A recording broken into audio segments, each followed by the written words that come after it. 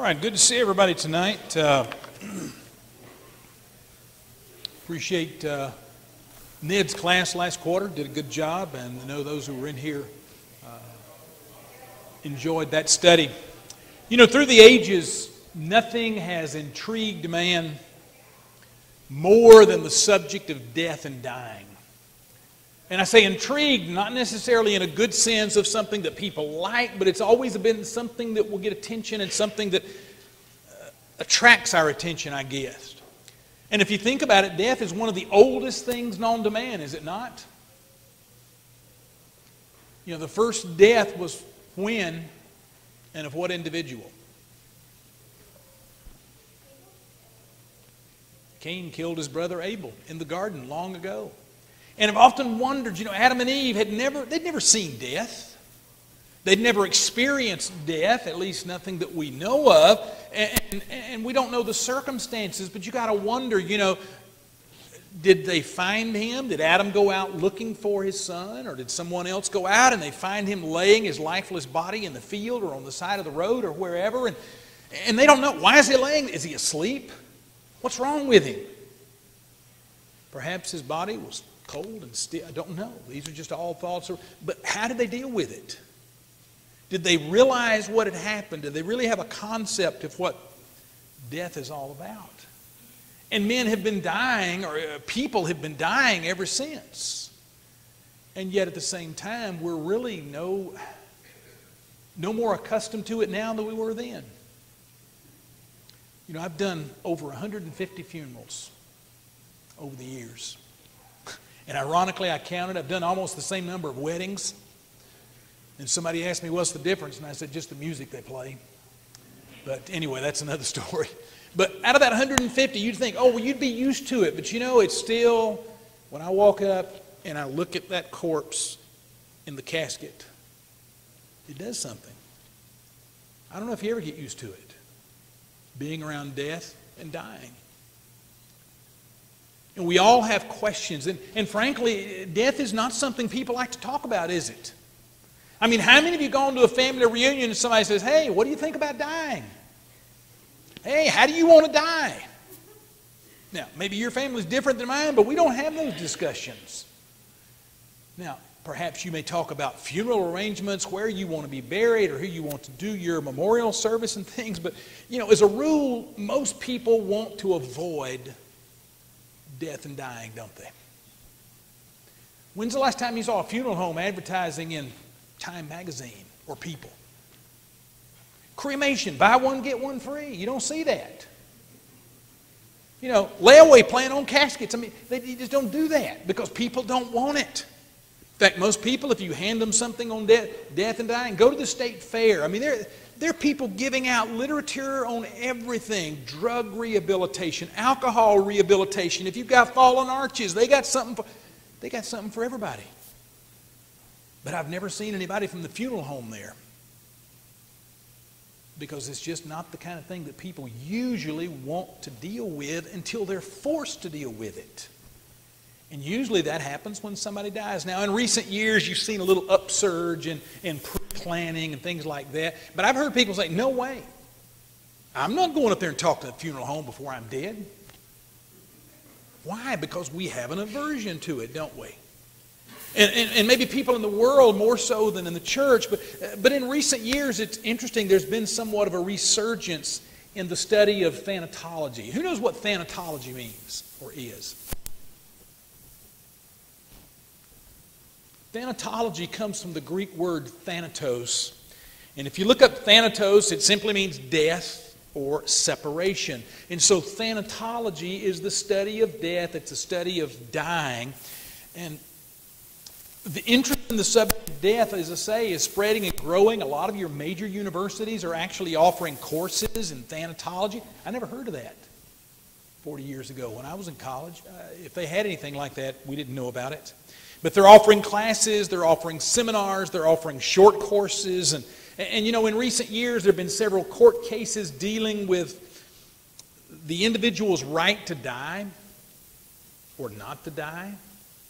And so there has been, as I say, an upsurge in the interest, but as a rule, people don't like to talk about it. In fact, the average person, and, and correct me, maybe some of you are different, but the average person views death with utter fear and horror. And there are any number of reasons, I think, why they do. I think a lot of people simply do not understand. Uh, there's a mystery surrounding it. There's the confusion. There's the question what's on the other side? And in all honesty, I've had, I've had a lot of Christians tell me, and usually it's older Christians who are no, they don't have long to live, say, you know, I'm scared about dying. And it wasn't that they weren't faithful Christians, it wasn't that they weren't prepared. So, what would you attribute that fear of death and dying to? The unknown? I mean, let's face it, we all fear what we don't know, don't we? You know, if you know you have to go into a dark room, there's no light, you don't have a candle, you don't have a flashlight, you know you've got to go into a pitch black room and you have no idea what's in there. Are you just going to go traipsing in there boldly or are you going to, going to go in there? Honey, come with me. the unknown. Maybe we know there's nothing in there, or at least we think there's nothing in there, but, but basically we have a fear of things we don't know or that we don't understand.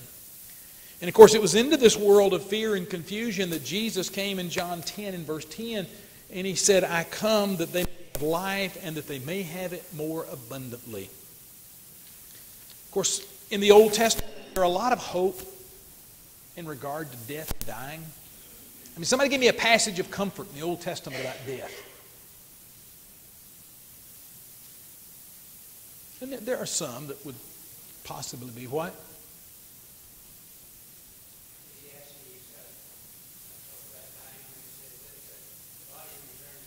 Yeah, but, but I said passages of hope. There are not a lot of passages, and then there are a few, but you know, you come to the New Testament, we have all kinds of passages offering hope, don't we? I mean, one, one of my favorite, Paul's words shortly before he was put to death by the Romans. The time of my departure is at hand. Was he frightened? No. What did he say? I fought the good fight. I finished the course. I've kept the faith. And then to add further hope to what he's looking forward to, he said, Henceforth there is laid up for me a crown of righteousness. Was Paul scared of dying? I've often thought, I hope that I can have Paul's confidence, his openness when it comes time to die. Of course, we, we may not know. We could die in a car crash, die in our sleep, but you know, here was a man that knew that he didn't have long to live. And he wasn't going to die what we would say a gentle death. You know, take this pill and you don't wake up. If history is to be believed, he was beheaded. That within itself would be terrifying but yet he approached his death with, with all kinds of confidence. Another example, what about Peter? Remember, James has already been beheaded in the book of Acts by Herod. He arrests Peter. He's waiting till after Pentecost. He's going to have Peter beheaded. And the night before Peter was going to be beheaded, what's Peter doing? He wasn't praying, what? Sleep. Now, I'm sure he had said his prayers, but yeah, he's sleep. How many of us could sleep if we knew that first thing in the morning a guy with a big axe is going to come in and they're going to stretch my neck out on a block of wood. And... Would you be sleeping? I'd probably be praying.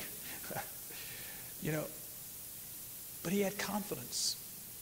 And, and, there are many other examples of people. Um, and you know, going back to this promise of Jesus of abundant life in John 5 24, Jesus talks about the, the assurance that we have after death of, of this abundant life. Notice, verily, verily, I say unto you, he that heareth my word and believeth on him that sent me hath everlasting life, and shall not come into condemnation, but is passed from death unto life.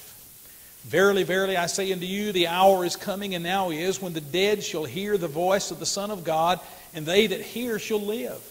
For as the Father hath life in himself, so hath he given to the Son to have life in himself, and hath given him authority to execute judgment also, because he is the Son of Man. Marvel not at this. Now, here's the promise. Here's the, uh, the hope that's given to the child of God. Marvel not at this, for the hour is coming in which all that are in the grave shall hear his voice and shall come forth. They that have done good unto the resurrection of life, and they that have done evil unto the resurrection of damnation. So there's the hope that the Christian has. If we have lived the Christian life, we're going to be raised. Does that sound like something we should fear? Does it sound like something we should avoid, you know, try to avoid? And yet, in spite of this promise and many others, the masses continue to grope in darkness. They don't understand. You know, they're, they're terrified of dying. Most people don't want to talk about it. Here's some statistics I ran across. Every second of every day, somebody dies. Around the world, every second, someone's dying. Chances are we don't know them, but eventually, one of them is going to be my friend, my neighbor, my coworker, my loved one, family member. The fact is, death affects us all. In America, every day, 5,000 people die just in the United States. Kind of reminds me of Ecclesiastes 9 and verse 5. Solomon says, For the living know that they shall die. Don't want to admit it, they don't like it, but we know it. Why don't we talk more about this appointment of death? You know, Hebrews 9.27 says it's an appointment, you know, it's something we can't get out of. Why don't people want to talk about it? It scares them, but, but, but what else?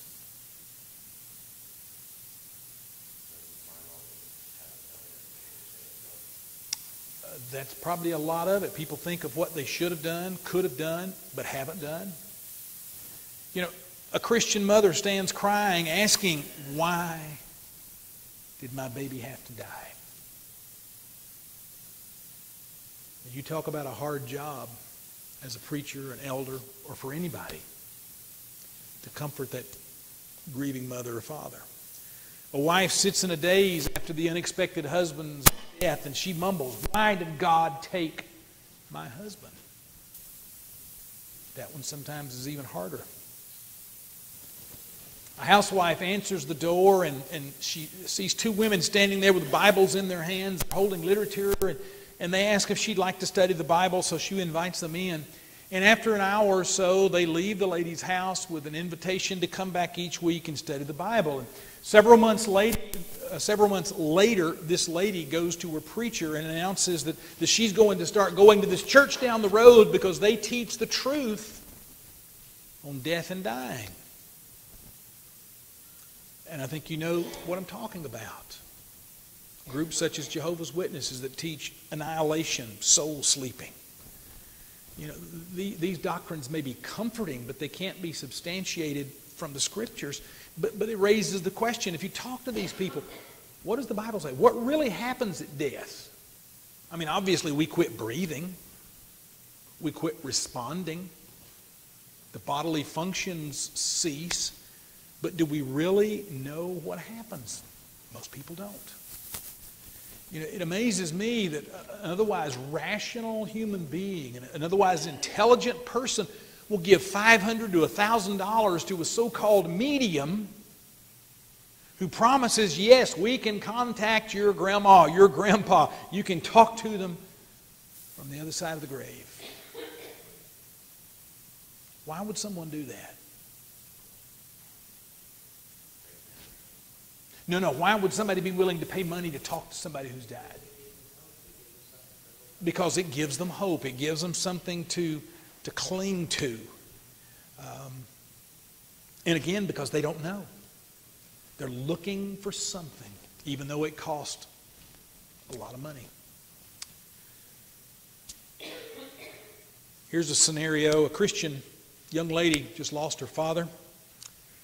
At the beginning, their church family, the church members were very considerate during the early days of a bereavement. But in the coming days, she begins to sink into depression. She begins to have some questions. And people begin to say things like, well, if she had more faith, she wouldn't be this way. If she had more faith, she could snap out of this. People begin to distance themselves. Someone says, poor thing. or bless her heart. There's nothing more we can do. And so they abandon her, for lack of a better term, and she sinks further and further into her depression. You know, people feel sorry for her, but what can they do? They don't know what to do, they don't know what to say. And that raises a question how do we minister to those who are grieving? How do we comfort those who are hurting? And we're going to talk about this in a future lesson uh, this quarter. And at the risk of sounding simplistic, let me say I honestly believe that, that all of these problems could be dealt with much more efficiently if we had a better understanding of death and dying and, and, and what takes place. I'm talking about a biblical understanding of death and dying. Yet most people would just as soon avoid the subject entirely. In fact, one preacher was doing a class on this, and he announced it from the pulpit that on beginning a certain Sunday or a Wednesday night, they were going to do a class on death and dying. And, and one of the men came up to him and said, Are you kidding? A class on dying? Well, it's a biblical subject. And certainly it's a subject that affects each and every one of us. And I think deep down it's a subject we should want to know more about. I've never, in my memory, sat in on a class dealing with this subject. And, and if you start looking as far as books by our brethren, there are not a lot of books written specifically about the subject of, of death and dying. You'll find chapters and things in some books. But I want to give you some reasons this evening, this kind of introductory lesson to this, this quarter's class on death and dying. And if you don't come back, I'll understand. You're not going to hurt my feelings. Uh, just, just pass on down the hall. But uh, I want to give you some reasons why I think we need to be studying uh, the subject of, of, death. First of all, because death is very real. Um, the Bible bears this out. You know, it's not something that's a figment of our imagination. It's not something that you, you know, see in the movies or you read about in the book, but, well, it's not real. You know, it's kind of like Santa Claus or, or the Easter Bunny, you know, mythical characters. Uh, you don't have to look far to find rem- reminders of death. You open the newspaper, especially your large city, and there's row after row of obituaries. And oftentimes you may know depending how long you've lived in the city. You may know one or more of those individuals listed there. You, know, you pass by a funeral home and you see cars lined up in the parking lot. You drive by the cemetery and you see those tents erected out there in the yard, and you know someone has died. Um, the ringing of the phone in the middle of the night. What do you think when the phone rings at 1 or 2 o'clock in the morning? Yeah, first thing. Course, as a preacher, it's even more because you know we get called for uh, any number of things like that. But you wonder that's the first thing pops into mind: who died, or who's been rushed to the hospital? Yeah, who's been in a car accident? You know, and, and how many times have we stood at the cemetery and looked into that open grave? Or we've watched as that open grave was filled in. So, so death is real. That's, that's one reason we need to deal with it. Uh, because it's a, it's a reality that's all too real. We can push it out of our minds, we can avoid it. And I know people, I've had people tell me, I don't go to funerals. And they were adamant about it. I said, Are you going to go to your own? And I think the comment was, Not if I can help it. But some people want nothing to do with it. But let's face it, every time we look in the mirror, we know we're another day, another week closer to eternity, don't we? You know, George and Paul were sitting there together, and we were laughing about bald heads and gray heads. And I said, Well, you know, that's the way with hair. Some turns white and some turns loose. Most of the time, it's a sign of age, isn't it? You look in the mirror, we see the wrinkles. We realize you can't run as far as we used to run. They can't run at all. You know, we realize if we're honest with ourselves, we are every day getting closer and closer to eternity. Not to sound morbid, but to sound realistic. But yet we live in a youth oriented society. You know, you look at the commercials, you look at the ads. You know, if you'll just eat this, if you'll just drink this, if you'll go to this gym, you'll be young. You can do everything you did 50 years ago. Yeah, right. I'd be happy to do what I could do five years ago. But it's because we're getting older. It's a fact of life. We are born to die. The minute we draw that first breath, we begin to age the countdown starts. But you know, another reason we need to study it because it's an appointment that we all have. Um, Hebrews chapter 9 and verse 27. The only thing that's uncertain about that appointment is when it's going to occur, where it's going to occur, and how. I don't know where I'll die. Didn't really matter. Don't know when I will die. Doesn't really matter. Um, these are things that we have no control over. But I do know that I will die. Uh, going back to Cain and Abel, ever since Cain killed his brother, death has been striking down victim after victim. No exception except two men. Who were the only two men who've never experienced physical death? Enoch, Genesis 5 and verse 24. We talked about that, I think, two or three weeks ago in uh, Sunday morning sermon. And the second was the prophet Elijah, 2 Kings chapter 2. Only two men who've never, well, obviously those still living haven't died, but the only ones that have ever left this world without dying are these two. And because death is real, we, we can't ignore it. We can't turn our back on it. Uh, we need to face the reality of it and to understand it so that we can prepare for it. What, George?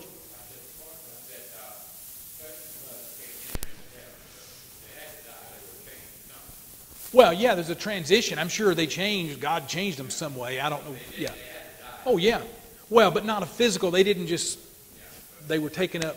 Trans- just like Jesus. Jesus ascended into heaven. It was a physical body, but at some point. Right. But, but when he went back, he changed. Exactly. When he went back to heaven there in Acts 1, he was changed. But you know, second reason, we need to study the subject of death because it's has been avoided in far too many cases. Um, as I said a moment ago, you know, some people will not go to funerals. Uh, they're frightened of them. Uh, there are people that don't want to go in a funeral home. I know people that are terrified of cemeteries. You know, when I was a kid, maybe I was warped, but we used to love to go to these old cemeteries. We would go to Cahaba, Alabama, which was the first capital. And there was a cemetery there that most of the graves dated back to the early and middle 1800s. And I used to love to walk through that thing and look at these old stones. Some were so worn you, you, you couldn't you couldn't read it all. Maybe just make out a date on them. And there was one I remember, it had an oak tree that at that time was probably two and a half feet across that had grown right up through the grave itself. And the headstone was behind the tree. That's how long it had been there. But I grew up with the reality that, you know, death is something that, that occurs. Um, and we have to be prepared to deal with it rather than simply to avoid it. But we need to study the subject to eliminate fear and superstition. How many people do you know have obeyed the gospel because they were frightened? I've had people say, well, I want to be baptized because I don't want to go to hell. And within itself, that, that's a valid reason, but should that be the primary reason? No. That should not be our primary reason. We should want to obey the gospel because we love God. Uh, we should obey the gospel because we want to go to heaven, uh, not simply out of some morbid fear or, or paranoia. Um, and if we fail to understand what God has revealed to us in the subject, we're going to be superstitious. And there's a lot of superstition about death. It's amazing the things you can hear from people. Things that have maybe been handed down, folklore or whatever, some of the silly things about death and dying. Um, and they're not based on God's Word. Um, of course, you in recent years, the rise of uh, spiritualism has uh, taught a lot of false ideas, things contrary to what the scriptures teach. Uh, you know, for example, we can talk to the spirit world, people can come back, and all of these things, communication with the dead, these spiritualistic teachings. Um, I find it interesting that under the law of Moses, those who practiced spiritualism were to be put to death. It was a capital crime. Uh, and closely related to that is the subject of reincarnation. And, and if you're not familiar with reincarnation, basically it says that we've all lived on earth before. In other words, we were here in a different life, different body, different person. A few years ago when I was in India, I had a chance to sit down the morning with a Hindu, call him priest, they call him a, basically he was a Hindu priest. And we were talking about reincarnation because I, I didn't understand it, still don't understand a lot of their teachings. And uh, he was giving me stuff out of their holy book, the Ganesh. And uh, I said, wait a minute. So when you die, you're going to come back to earth just as a different person with a different body. He said, yeah, that's, that's what we teach. And we're sitting in a filthy, poverty stricken village with open sewage in the streets, children malnourished. I mean, just really bad. And I said, So let me get this straight. When you die, you're going to come back. I said, In a better place. He said, Yeah, in a better position, was his word. I said, Will you come back to Shillong? And he said, Yes. I said, That's not a move up. I mean, to be translated out of one place of filth into a different body, but you're in the same place of filth. That's not an improvement. I don't even know if that would be called a horizontal move, much less a move up. And we discussed it at length, and I never could make him see that. You know, he said, Now, if I live a bad life, I'll come back as a, as a beetle or a cow or some animal. And if I live a good life, I will no longer be a low caste Hindu. I'll move up the caste level. But he's still going to be in the same filthy place. Um, and a lot of people, uh, oh, the movie star, I forget her name now, the actress, is big in reincarnation. Yeah, Shirley MacLaine. You know, she's uh, she's actually written a book. Well, I don't know if she wrote it, but what they call it a ghostwriter and uh, she's really promoted uh, reincarnation uh, in recent years. And, and, some of the other Eastern religions and cults uh, emphasize this idea of reincarnation. Um, and you know, this thing about death. Most places people go, when they get back, you can pump them for information. Hey, you went to the White House. Tell us what it was like, especially in that pool of water. Get George to tell you about the pool of water. Uh, you can ask people, but you can't ask somebody what happens when you die. What's it like? You know, as somebody said, do what?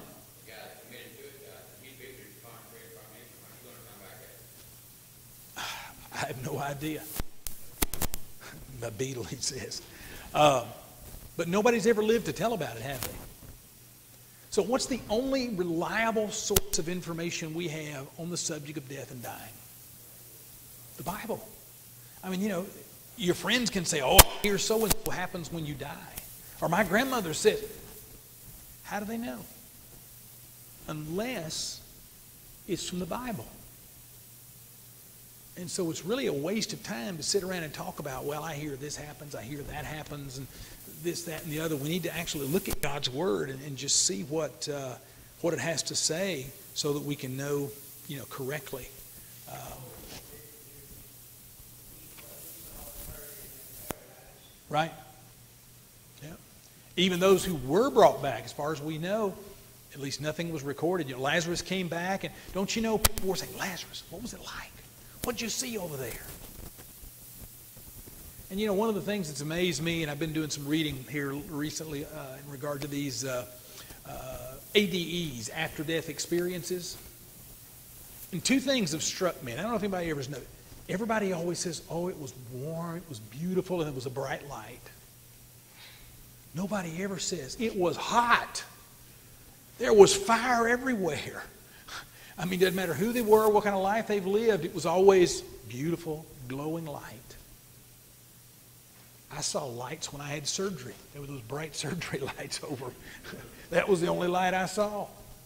But uh, again, we have this misconception, you know, the, oh, well, I, and I've even had members of the church tell, oh, I died and came back. No, you didn't. The Bible says you die once.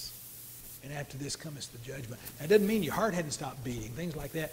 But death is the separation of the body and the spirit. We're going to talk about that more later. When the spirit leaves the body, forget it it's over. There is no coming back. Um, you know, there's a lot of, as I say, a lot of false teaching in regard to uh, death and dying. Doctrines such as purgatory and limbo, these are doctrines that are taught by the Roman Catholic Church. And, and these two doctrines have fostered all kinds of bizarre beliefs uh, in regard to the subject. Um, of course, limbo uh, is where babies go who die. Uh, and of course, they have no chance to, uh, to be saved. And of course, purgatory is where you go and you have a chance to uh, basically work your salvation out. You go to purgatory for a period of years, however long it may be, but then eventually you can come out of purgatory and you can uh, spend eternity in heaven. And there's nothing in the scriptures, you know, the rich man and Lazarus make that clear that once we die, our fate is sealed. Crossing over from one side to the other. Uh, there is no coming back to help people. You know, the rich man wanted uh, Lazarus to come back and warn his brothers and couldn't do it. Abraham said, They got Moses and the prophets, let them hear them. He said, Oh, but they'll listen if somebody came from the dead, but it didn't happen. Can't happen. Um, and of course, two other false doctrines that you hear a lot about are soul sleeping and annihilation. You know, soul sleeping is the idea that at death your soul just sleeps unconsciously in the grave. And the body, uh, excuse me, the soul we resurrected from the earthly grave uh, at the end of time. Annihilation is the idea that the wicked are simply going to be destroyed at death. There is no punishment, there is no torment. And all of those passages that talk about eternal punishment, eternal fire, pain, anguish, all of those things, uh, they're not true. They're just metaphorical, we're told. Um, but another important subject, a reason for studying the subject, to me, this is one of the most important because we need to be able to help the bereaved. The hardest thing in the world, I think, is comforting someone who has lost a very dear loved one, whether it's a spouse, a child, a sibling, a parent, whatever. I mean, what do you say?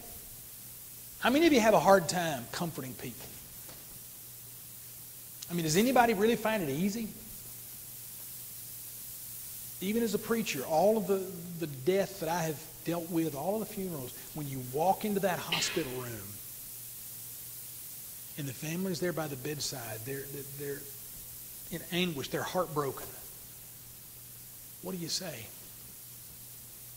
You know, I say I'm sorry, and you think, wow, that's really lame. That just doesn't doesn't get it. You know, we can say, well, I know what you're feeling, and that, that doesn't do it. Yeah, but, but even that, is it, does that really comfort them? Uh, and I decided a long time ago, there's nothing that I can say that will really offer comfort or anybody else. Now, they can appreciate the fact we're there for them, but, you know, nothing is going to take away that pain. Nothing is going to heal the heartache and the sorrow, is it? And those of you have, who have lost close loved ones, you know what I'm saying? Doesn't matter what somebody says, you know, all the donuts and coffee and the cards and the flowers and the visits, all the kindnesses that, that our church family may do for us, it doesn't really comfort in the absolute sense, does it? And we don't have time to get into it tonight, but you know, when we're talking about comforting people, are we talking about comforting Christians or are we talking about comforting non-Christians? Now, I personally find it very easy to comfort Christian families who's lost a Christian loved one. You've heard me say it before. The easiest funeral in the world is the funeral for a faithful child of God.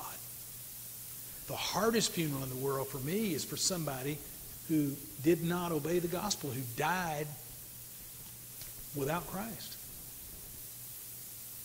And the difference is night and day. But, you know, we need to be able to, uh, to deal with them. Uh, Dr. Thomas Holmes, who is a psychiatrist at the University of Washington School of Medicine in Seattle, listed 43 life events. And, and I, re- I was reading this, I thought, you know, this guy really needs to get a hobby. I mean, some of these studies are amazing, but he listed 100 things um, from zero, on a scale, or excuse me, 43 events on a scale of 0 to 100 that impact our lives. Guess what he said the number one thing that impacts our life? The death of a spouse. The death of a close family member rated fifth. The death of a friend rated 37th. And I thought, we need a psychiatrist to tell us that. I mean, obviously, we're all affected by death. It doesn't matter if it's a, a very, very close family member or if it's a third cousin we haven't seen in years. Now, we may grieve more for some than others, but let's face it, we're all affected by the loss of family. What do you think about when you go to the funeral home, when you go to the cemetery, or when you come to the building for memorial service? What's one of the things that runs in your mind? How much time do I have left? You ever think, wow, that could be me? Those could be my flowers. You know, we all have different thoughts, you know, but, but we're all affected by death to some degree or another. Even though it may not be my loved one, you know, family, an acquaintance, a coworker, a neighbor, but we're, we're all affected by that.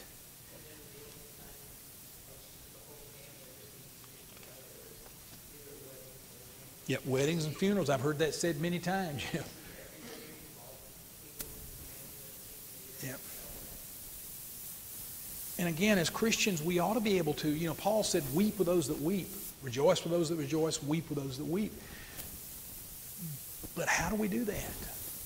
And that's one of the things we're going to talk about in one of the lessons, some ways to, to try to comfort those who are bereaved. And again, every situation is different you know, are we talking about the death of a child? Are we talking about the death of someone who, you know, was advanced in years? Are we talking about someone very suddenly, very healthy, just drops dead? Are we talking about somebody who's been terminally ill for months?